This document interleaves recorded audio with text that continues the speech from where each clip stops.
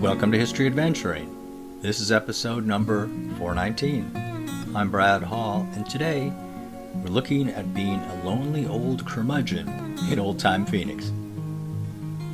It's Christmas time, and I live in the Phoenix area, so my mind is both wandering back to a glorious childhood surrounded by wonderful and generous people, and also to lonely old curmudgeons, of which Phoenix has always had quite a few.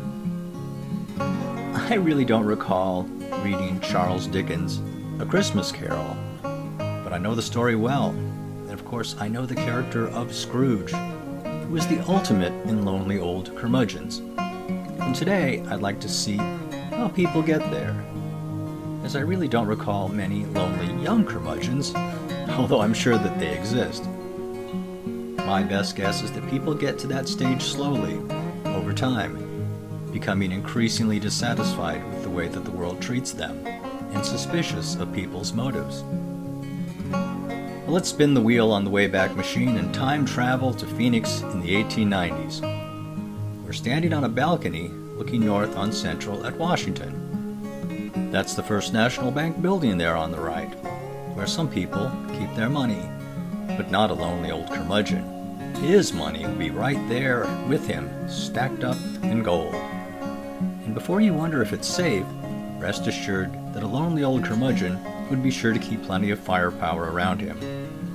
Probably in addition to the gun he used during the War of the Rebellion, or the War of the States, or the Civil War, or whatever he called it, and plenty of hunting rifles. His vision may be a little too blurry to see much, but he could still point at the door and squeeze a trigger. He might even have his grandpappy's old breech loader, just to be sure. I'm picturing that mostly the lonely old curmudgeon would be left alone, and the only difficult time would be Christmas time, when people would go out of their way to greet him, say Merry Christmas on the street, maybe ask him to donate to the poor. This would be when he would need to do his most ferocious snarl, and quite possibly say, Bah, humbug, which would have still been a popular expression in the 1890s, as humbug would mean about the same as BS would today, or just a bunch of nonsense, if you prefer. A real lonely old curmudgeon would always see selfish and underhanded things in just about everything that people did, especially gift giving and charity. My heart goes out to lonely old curmudgeons, and I often wonder what in their life led them to that place. Speaking for myself, I often worried that I would reach a point where no one else mattered to me but myself and my dog. I know that the opposite of love isn't hate, it's indifference. And I worried that I would become indifferent and disinterested in the people around me, becoming more and more emotionally sheltered. I'm happy to say that it didn't happen to me.